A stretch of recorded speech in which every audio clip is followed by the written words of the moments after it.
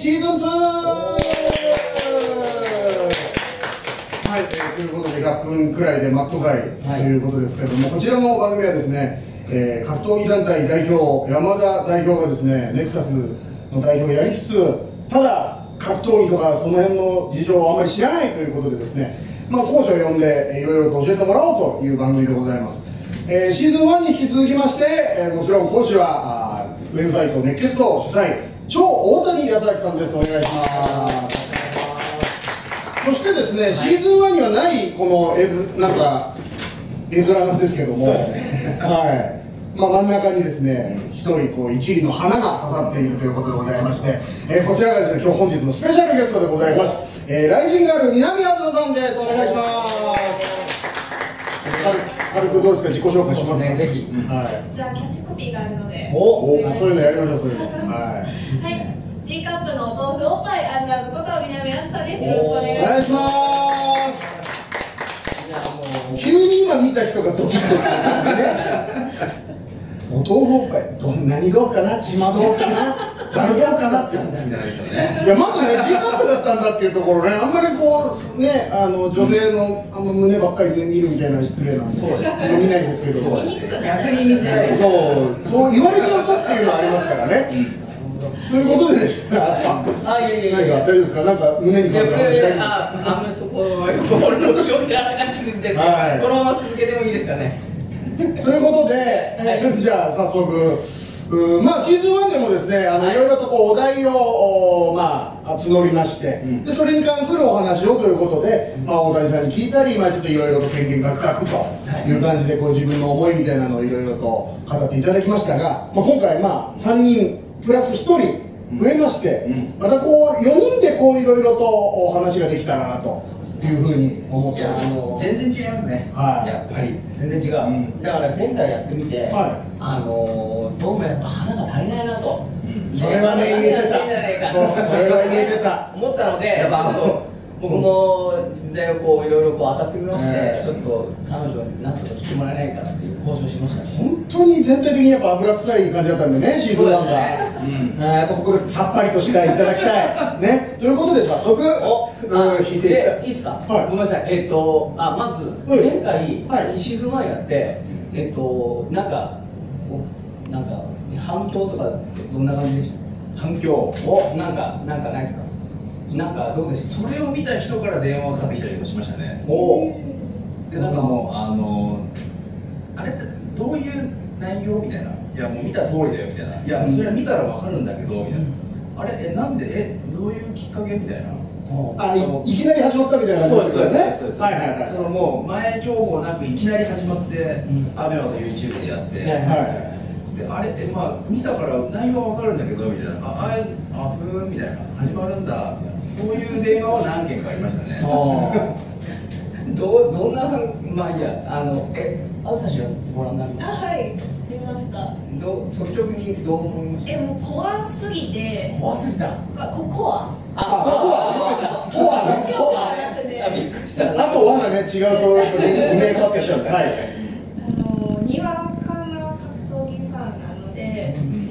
っと奥が深すぎるというか。まあ、ちょっと。ディープすぎたっていうところはもしかしたら、まあ、知らないことを知らないっていう勇気が大事でしたね。シーズン1の山田代表はね、えなるほど。あと、男性三人が。油臭かったので、私が入りたいなとずっと思ってああ、やっぱ俺油臭かったんですよ、やっぱり。そう。よくしゃべる3人だなみたいな 楽しそうだなみたいなね、えーそういう感じをまあまあまあ持っていただければよかったですけど、絶対山田言ってる意味分かってないだろみたいな。それ自分でそれ自分でさ思っちゃってるやつじゃない？ちなみに前回やったことで覚えてることなんですか僕は、はいあの正直、はいもう普通に隠さず申しますと、はい。シーズン1を撮ってであの映像の方にできましたよとはい。言われて、はい。2回見てうん。発想と意味が分かりました、ああ何回か見ないとわからない。あなるほど。で事務所でそれを見つつあそういうことかみたいな。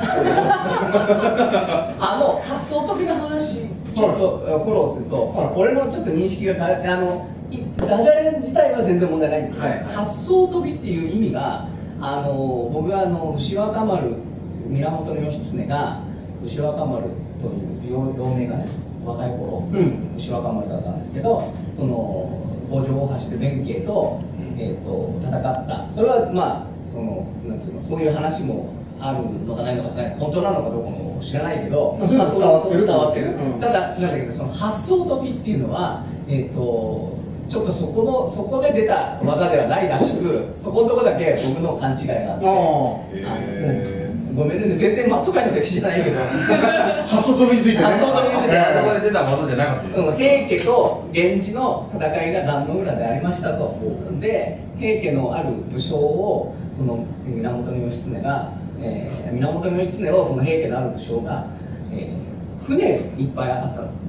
船が壇の浦って海の中で、えー源義経を誰かがその武将が平家の武将が倒そうとしたの、うん。その時に源義経が船を8艘1艘2艘3艘の 8, 8, 8個ポポポポーンと飛んだらしいんだ。それで8艘を飛んだから8艘飛びっていう話になったっていう、すいません僕のちょっと認識不足でそこのところだけなんかこうは恥ずかしいことを言ってしまったな。といということで発想飛びスペースウィキで今一度調べていうふうに思いますはい。ということで、えー発想飛びのお話ははい。さておき、さておき。というかまあ大事なあれね訂正でしたけども、まあこれあそう。お。今回もですね、えー神戸ウェルネスアイル様よりあ。こちらの朝ヨードプロテインドリンク。ご後で飲んでみてください。はい。はい。こちらも飲飲みながらやっちゃってもいいですよね。飲みながら。あそうそうそうそう、はい。そういう感じで、はい、こちらのご提供いただいております。ありがとうございますそしてこのうちは何ですかこれは？そうなんですか？ロッキー川村選手はい。うちわです。あこれね？こちらですね、なんか意味が。なんとなくですか？はい。はい、ということで1枚目引きます。あ急になんか地方大会。うわ。いきなりそれか。地方大会。地方大会。いやあのーマット界まの地方大会。の結構やっぱり地方というかその東京、まあ、大阪名古屋あたりが、まあ、基本的に大会としては、まあ、でも東京ですよね、あのあのその話も膨らましたいんですけどまず例えばねせっかくライジンガールがいるもんだから、はライジンの地方大会去年名古屋。あ名古屋はい。ちょっとその話をもしなんか記憶にあることを。私名古屋いないんですよえじゃないの？今日年末あそうかそうかあごめん。信頼時があるなのであそうか。まだ行ってないんだ。去年そう年末からだ。そうあそうか。じゃあ次の福岡が初めての地方方大会。なんかどういう思いとかありますか？その福岡に行けるっていう。あそのなんか地方大会に行くっていうそのなんかライジンガールとして行く。いや全国にん。ファンの方いらっしゃるじゃないですか、うん。だから福岡は福岡の色があるのかなと思って、おー。なんていうんですか？埼玉スーパーアリーナと横浜アリーナしか見てないのででも、あんな大きい会場で前回の夏のジムもたくさん人が集まってて、では福岡はどんな感じ？なんで雰囲気とかやっぱ横浜アリーナと埼玉スーパーアリーナでもちょっと雰囲気が違うなと思ったんで、そうそうそのなんかならではのそうですね。やっぱ来れない人も来れたりするかなと思うので、はいはい。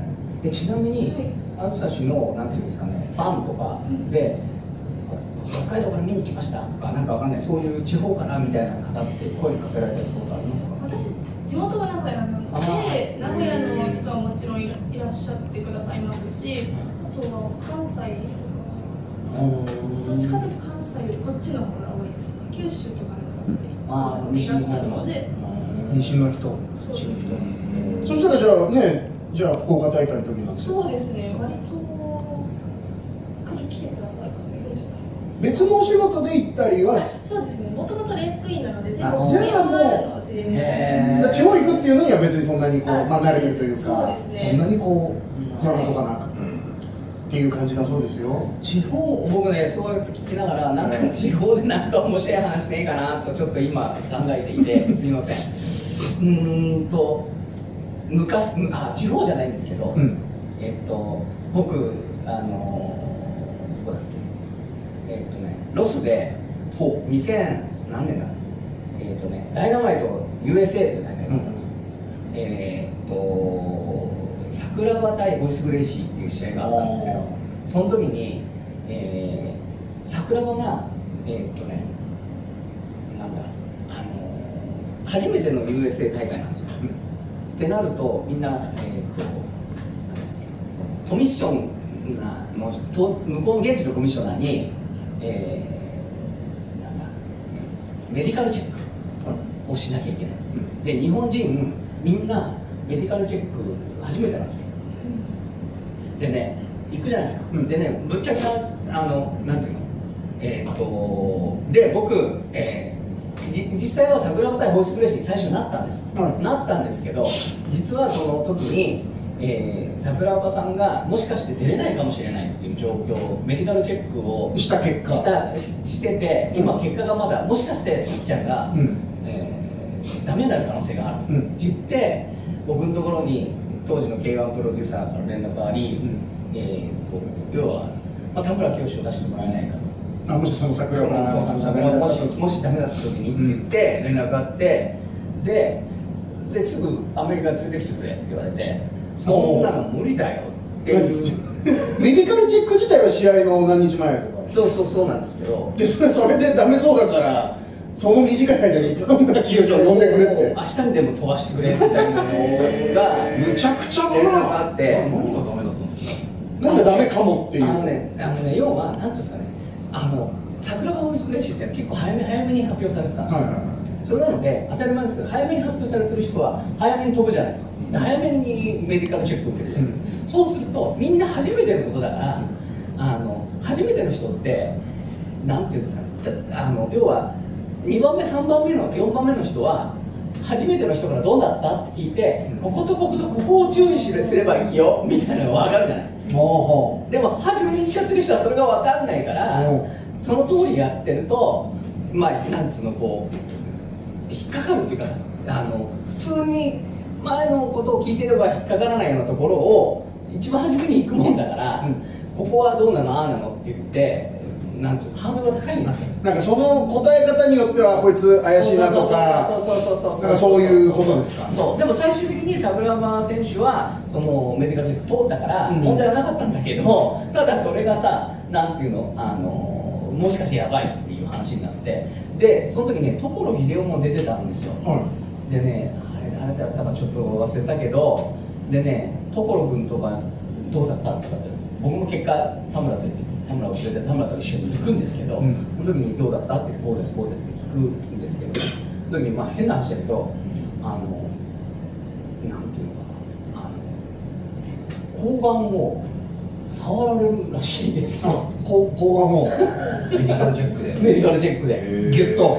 ギュッとじゃないけど 要はそこの、なのでそれをだからそのそれシーズン1で話せばよかった。よなんで急に女子がいるから急に睾丸を掴む掴まないみたいな。まあまあ。まそのところはちょっとまああの出すかどうかと思うそういう、うん。なんていうのかな。ごめんね地方大会の話じゃないかもしれあないまあでも東京からしたら地方ですからね。う んなんかそれでメディカルチェックの思い出がすごいある。そので最終的に田村清を、まああまあ、ある人と一緒に口説いて向こうに連れていくんですよで向こうでそのメディカルチェック受けるんですけどどういったらいいですかね？あの例えばここに何うちは何こうジュース、うん。あと何わかんないけど例えば時計とかあるじゃないですか、それをはい覚えてくださいって言って覚えさせられるんですよ。うちはジュース時計っつってでなんだかんだ他の話をした後にさっき言った3つって覚えてます？って聞かれるわけ。そういうなんかうちはジュース時計っていうそれをそういうなんつうのなんかえなんていうの？えわえなんだったっけ？みたいにうん。なっちゃうとその質問に答えられないっていう体になっちゃうみまあたいな。だからなんか減点対象とそうそうそうそう。うそういうなんかなんかメディカルチェックだなんか認知症の感そうそうじそうそうみたいなのがね。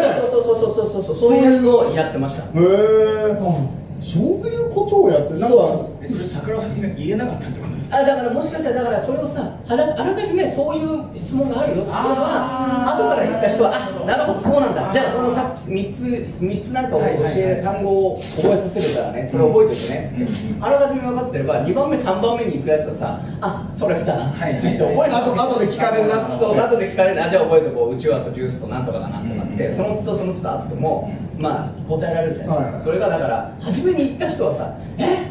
えなんだっけ？みたいに確かになっちゃうじゃん予備知識全くないから本当にニュートラルな形。そうそうそうそうそうそう。でもまあなんだろう本当の意味でのメディカルチェックではあるんだけどそれは。そう。2番目以降ねカンニングしてるわけだか。らそうそうそうだかららそういうのがあって、えーなんかこう桜川は一番初めに行ったからちょっともしかしたら可能性的にもしかしたらっていうのがあるかちょっともしれない減点がですごいかも、うん、ででこっちに連絡があってっていうので、まあ、一緒に行ったことがありますね。へえさあなんかんなんだっけなんかいろいろメディカルチェックやってたね。なんか。でその時にねごめんなさいどうでもいい話なんだけど NHK で行く前の日かなんかにあのギャル曽根さんとかああいうふうに、はいなんかこうバクバク食う女の人のことなんていうんですかなんか大食い。まあフードファイターフードファイターみたいな。うんああいう人の特集を NHK でやってたの。はい。でなんなんだっけなんであの人たちはあんなにいっぱい食べられるんだっていう特集をやっていて。でねなんかどうやらその NHK の特集では門脈になんか謎があるみたいな。門脈？門脈っていうのがあって、要は変な話だけどあの人たちって5キロ食ったら5キロ出すっていうそういう構造になってるらしいですよねうん体が。うでその5キロが門脈っていうところにたまるんです。っていう特集やってて、うん。その話をまあどうでもいい話なんだけどロスでそんな話をフードファイターの話があったよねっていうのを田村清とすごいメディカルチェックの時間が長いんだ待ってる間その話をなんか延々としてた記憶が。ごめんなさい。すげえどうでもよかった今。思い出話だったびっくりしちゃった。なんかそっからもう一個入るのかなと思ったら。そのってい。う話をしたんです。みたいな。でも結局田村さん行ったんだ。来ましたね。飛ばされた飛ばされたって言うとおかしいけど。よく言ったよね。うん相手がホイスグレッシーだったのでやっぱり戦いたいって思いが最初あったんもちろんあるだろう。けどでも結局坂本さん出れるってなったら田村さんどう？だから結果でテレビ解説あを最終やるんですけど、でテレビ解説やるんですけどね前の日かなんかに急遽行ってるじゃないですか、うん。でテレビ解説するのにちょっとタキシードみたいなのを着なきゃいけないってはい話になって、でテタキシード着るのに体の大きさ知らんね当然急遽着てるから、ん。だからね前の日だからにそのスーツを、うん。えー、としレンタル屋さんみたいなところに行って、うん。サイズ測ってみたいなのをうん。急遽やってました、えー、あ結構バタついてるというそしたら向こうで あのあ何プライドファイターだみたいな。そういうのは感覚やっぱあっちは。そこそ人気ね。すごい人気あっへたもっと人気あったのが韓国。韓国はその竹下通りみたいななんだっけなミョンドンだったっけ？ありますよねあの辺のこうつ通路っていうか何？あの道を歩いてるとうん。指さされる。田村清が。あプライドだ。プライドだ。へー。あその、まあ、プライドの全盛のうん。その辺の時代、へえ竹下通りにいるよりもおそらく田村清は人気あったね。あでもそうかもしれないですね、うん。まあ、全盛期とは言ってもやっぱり日本はもしかしたら、格闘家がいたからあって指ささないじゃないですか。まああのすごいこう心の中で「おやべ田村清だよ」みたいなのはあるかもしれないけど、そんなにこうわって寄ってくるみたいなのはねうん。多分その当時ももしかしたらなかったんじゃないかな、いやわかんない。今の例えばじゃあなんですか天使だとかうん。出口だとか。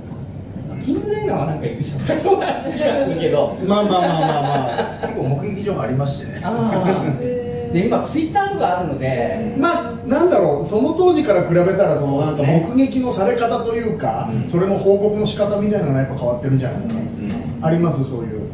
目撃ですか？なんか目撃されてツイッター上げられたわ的あなー逆にそっちの立場ですそうだそうそうそう。そう全然ないですね。いたみたいな。そう。なんか声かけられたりとかします？えでもその地元にいた時はあの名古屋なのでちっちゃいんですよね町が、なのであずさちゃんですかっていうのはましたけど東京に来てから全くないですまあでもこっからよ。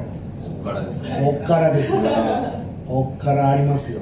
お豆腐ですね。そうどうえ。豆腐ってやっぱ呼ばれますえーそうなのお豆腐えースッと入って。きますよねいやだからだって今もさっきの自己紹介のとこでもう覚えてる単語豆腐だけだから豆腐と G カップっていうその2つしかそうですね。もうちゃんとでもそれは覚えられるってことはいい、あれそうですか、やっぱ呼ばれると嬉しいもしかしたら名前は忘れてるけどお豆腐っていうのは覚えてるっていうところでもね。そう豆腐見るたびに思い出すみたいなのがあるかもしれないんでその辺はいい戦略かもしれませんね。そうですね。はい、ということで、まあ、地方大会というかそうですね。ごめんなさい。まあちょっとでもまあ地方です、うん。うん。まあ地方、そう。東京ではないですね。東京ではない東京ではないから地方です、うん。でも大会って東京ばっかりじゃない？言まあったら、首都圏が多いですよね。もう、あの関東近郊しかもまあ南関東と言われてるようなとこ。ろだから北海道だやれ東北なんていうのはもうほとんど。そうですね。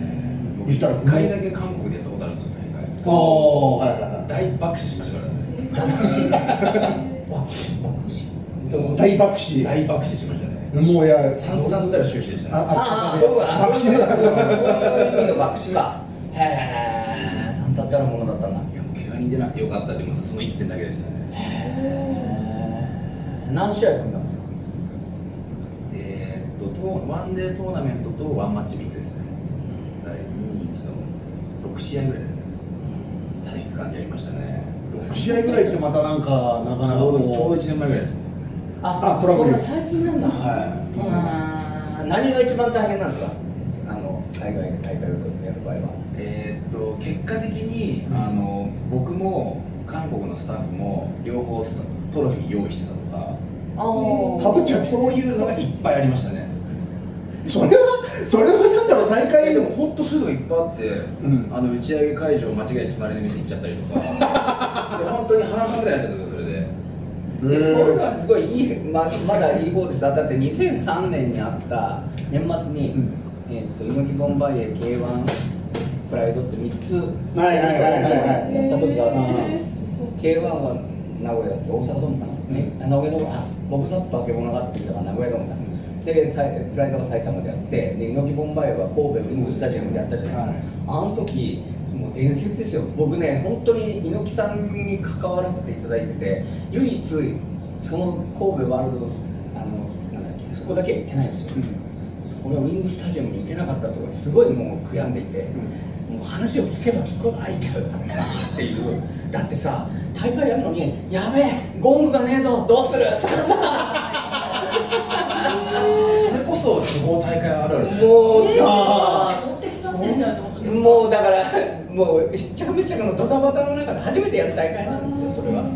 あの当時まあいろいろ政治的にいろいろあって K1 とプライドとプライドと猪木猪木さんはがっちりだったんですけどそれがまあちょっとこうあるいろんな事情で分かれることがあってでプライドはプライドで K1 は K1 でやるあ猪木ボンバイは猪木ボンバイでやることになってその時にもう本当しっちゃかめっちゃかになってゴングのことすら考えてないっていうような状況があったみたいみたいですね。当たり前すぎて誰も気づかない。そうそうそうあそれはあるね、でまた地方だともうなんか取りに帰るとかいう手段がなくなるからどうしようっていう感じだから結局その大阪海外の人のジムで借りてきてはい。はいはいあーそっから。そうそうそうそこで借りるぐらいでそうすよね。そうもうもう急遽あれがないこれがないわそういう現場が多いんじゃないですか？俺でもそんなこといやもうあの周りのスタッフの人がしっかりしてるからそんなそんななんか打ち上げの会場隣行っちゃうとか そんなのないから。ここも俺かよみたいな感じで不適さながら払いましたからね。あお金のことか。なるほど。お金のことはね。これはちょっと知らん知らん。もういい経験になりましたね。もうもうえ今後韓国大会っていうのは視野にやりたいですけどね。今度はだからそのスタッフをねちゃんとこう教育してっていうか、うん。なんかちゃんとしたうん。人たちを呼んでっていう。そうですね。のはね、はい。あるかもしれないですね。はい。ということで地方大会ということで、まあいろいろとね聞いてみましたよ。なんかやっぱ地方はなかなかできないっていうのもあるかもしれないね。人が集まらないっていうのももうそれで今言った収支のね観点とかで考えたらやっぱどうしてもあのよく言われるのは、うん。東京で流行ったものは1年後大阪でっていうのはよく言われるあ業界でも聞いたことあるそういうやつ。うんだから例えば NWO とかすごい東京で大爆発2000年前後したんですけど1年後大阪で行くと同じような1年かかるはありましたね。何じゃあもう来人とかも1年。後に1年後にとか。そうそう。だからこのこの熱気はだからっていうのはよく言われるけど今はでもどうなんだろうだからあの本当に SNS ができてしまったのであーでも最近の動向はよくわからない。結構もしかしたらリアルタイムになる。それはそれこそ1年後とか言ってたのってそういうのがやっぱ発達してない時代のね、話情報網として発達してないから情報を知る手段がそういうなんかちょっと発売した後のなんか雑誌だったりとか、テレビとかで少しずつこう火つけてってって。今はもう結構リアルタイムで SNS 方面はね。やれるからもしかしたらっていうのはあるかもしれないですね。そうですね。はいじゃあ次の話題いってもいいですか？はい。ということで、はい、うんえーうん。どうですか？あもう。は見てたら。天の声が。天の今天の別に今今ずっとこっち側見ながら喋ってたよ。すんごい首かしげてましたこれ。あもういいよ。もういいよっていう今、はい。空気感が出たので。まあとりあえずこの第1話。早いですシーズンね意外と。そうシーズン2の第1話、はい。これにて一旦お開きということで。じゃあまた1週間後ですか？1週間後お会いしましょう。シーズン2第2話で。おまあじゃあとりあえずこう感想的な。おあ感想。おははい。感想最後してねバイバイ。じゃあまた来週。じゃあまたじゃあまた来週お会いしましょうっていうのをちょっとこうあのカメラでパッて抜いてもらえばうまいことこうちょっとこう引きがあると思うんで、はい、はい、そうですね。感想。私の知らないことばかりの裏情報をしてたりやっぱり、うん知らないところを知れるのはすごいにとってはまさにまさにこの趣旨にぴったりですものすごいと意識が偏っちゃう可能性があるけど、その辺は気をつけていただいて、まあ、いろいろとこう、あの穴埋めしてもらってって感じですね。はいはい。来週もよろしくお願いしますはい、来週じゃあ、えー最後、一つ一つ、じゃあ、また来週お会いしましょう。さようなら。はいということでまた来週も元気にお会いしましょうはい、さようなら。また来週。長崎五島列島出身の苦労人ファイター今飛躍の時高校は行ってないんですけど、まあ、中学の時にミスサ格闘技やりたくて3年ぐらい働いて、まあ、お金貯めてこっちに出てきた感じですはい自身最大のチャンス勝利で飾る。フリーランス山中健二。プライドとかあの辺見てたんですけど近江選手とか、まあ、キッド選手とかあの辺はやっぱ輝いてましたね。18歳ぐらいだったんですけどこっちには、まあ、ちょっと目的持って来ましたね。最初は順調だった。アマチュアシュートを駆け上がりプロ昇格。しかし仕事の多忙さと私生活でのさまざまな変化が格闘技と向き合うことが難しくなった。そして一旦は夢を諦めかけた。まあ、やりたいって気持ちはあったんですけどなかなか環境的に難しいところがあって全然気持ち動かなくて何もなくなっちゃったんですよ。なんかすごい心にすごい穴開いちゃって。一度は離れた格闘しかし山中が帰ってくる場所はここしかなかった。まだ俺は全てを出し尽くしてはいない。今度はもう逃げることはない。かけは何だったんでしょうね。なんか知り合いの試合見に行ってそれでちょっとまたやろうかなって。やっぱあの勝った時の喜びとかああいうのなんか見ててまた思い出してちょっとまたやりたいなみたいな。再び格闘技と向き合った山中苦労を乗り越え心身ともに成長。今ファイティングネクサスで3連勝中と勢いに乗る。成長した部分ももちろんあるとは思うんですけど負けられないっていう気持ちが強かったですね。やっぱ今まで以上に。はい。見てて面白い試合はしたいですね。はい。プロでやってる以上は。そんな山中の前に立ちはだかる圧倒的な高い壁ファイティングネクサスの絶対エースタイガー石団体内では負けなしの7連勝。誰もがその存在を認めるミスターネクサス。余裕の発言からチョークスリーパーでの予告一本を狙う。彼は負けてないんで、まあ、一番またそうかなじゃあやるかみたいな。試合姿勢は多分分かると思うんで最後にこれがギュッてこれで倒すのが理想です。ねしかし苦しみを乗り越え再び格闘技に打ち込む山中。彼に恐れるものなど何もない。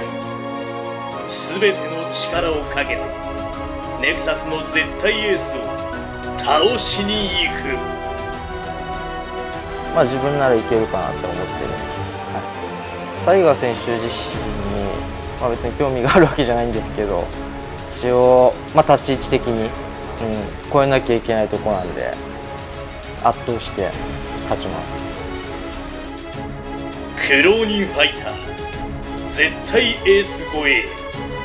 最大の挑戦が今始まる。ダブルメインイベント第1試合。株式会社ジョイプロジェクションプレゼンツ。フライ級5分2ラウンド。延長1ラウンド。タイガー石井 VS 山中健二。